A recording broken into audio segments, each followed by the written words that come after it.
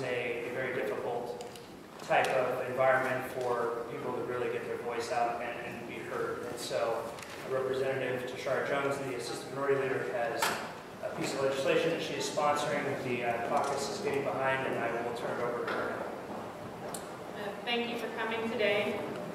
Today, we're here to tell the citizens of Missouri that we hear your cries for ethics reform.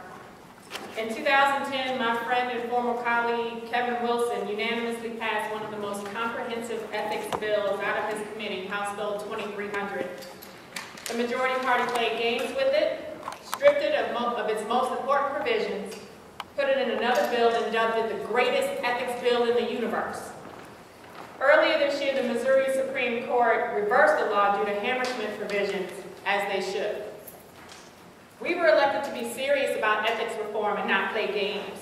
For more than a month, we've waited for action from the House Republican leadership on replacement legislation. Ensuring integrity and accountability in state government should be a priority for all lawmakers. And if Republicans won't act, then Democrats will. While we're on the subject of integrity, Today, Missouri's integrity report card was released. And how did we fare? Overall, Missouri has a C minus.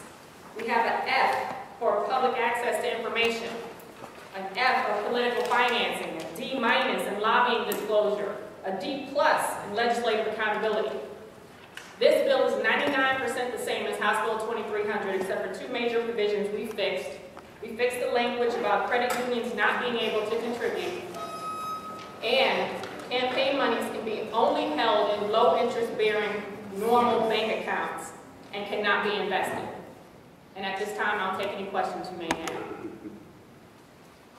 Do you think there's enough time this session to move through something as complicated as an ethics bill? Absolutely. In the first eight weeks, we've made it easier to discriminate and harder to vote, so we can do ethics reform.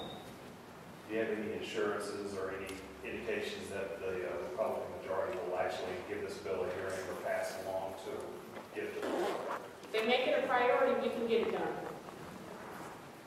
Do you have any concerns about ethics getting politicized by trying to do it in an election year? House Bill 2300 was passed in an election year. Do you have concerns that this could become politicized? Well, anything in this body becomes politicized. Why did you decide to go beyond what was struck down by the Supreme Court, including campaign finance limits, um, lower, a lower threshold for reporting um, contributions within 48 hours, and, and some of the other steps that you've taken?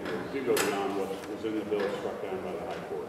Well, this is the exact same bill that was unanimously passed out of the Special Committee on Ethics Reform, which was House Bill 2300. So we just simply did a copy and paste. We, we know that it was passed in a bipartisan fashion, and, and we can do it again. Are you willing to work with Republicans to alter the bill, or is this the bill that you want to see come on the floor? Absolutely, we're open to any discussion. Have any Republicans shown any interest in uh, working with me on this bill yet? We don't know, it's the first day back, we'll see. What's, why are you throwing in the, um, the issue of, uh, of investments? Um, the speaker made some, what are now, what are currently legal investments, um, looking towards his, uh, long-term political future. Um, what's wrong with him investing in stock as opposed to a money market account? What's the difference?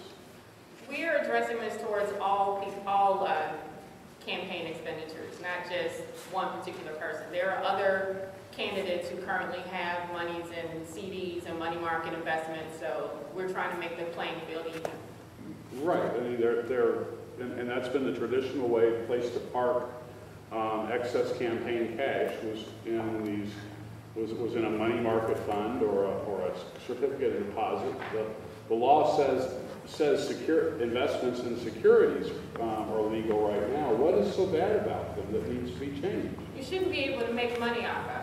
These are campaign, this, this, these are campaign and it should be used for campaigning, not for, not for returns on investments and making money off of. Doesn't it make it easier on your contributors if you make a lot of money on your investments and then you run out the campaign on that? I don't have those kind of contributors. Representative Kander filed a uh, bill after the Supreme Court struck down the uh, 2010 ethics law. Is he, uh, is he going to be cooperating with this bill or will he still have his bill and then there will be this one? Uh, we would hope so. As you know, in this body, we have many vehicles to try and get something done, so we would hope that he would sign on. Is there any significance to him not being here today? Other than he's just not here yet, no. Any other questions? Okay, thank you for coming.